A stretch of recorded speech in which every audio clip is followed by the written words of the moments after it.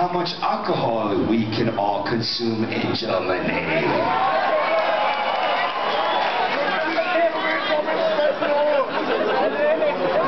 This one's called dynamite.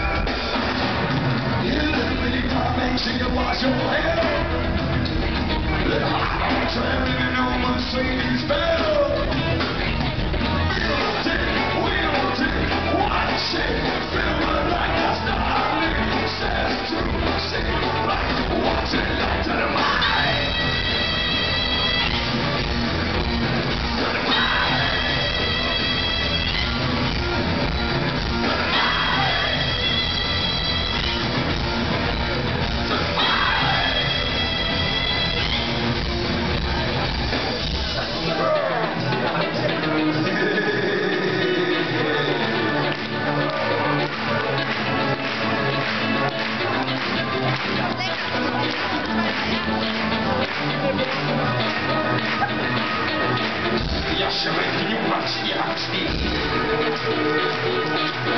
that's the worst, it's a little fine.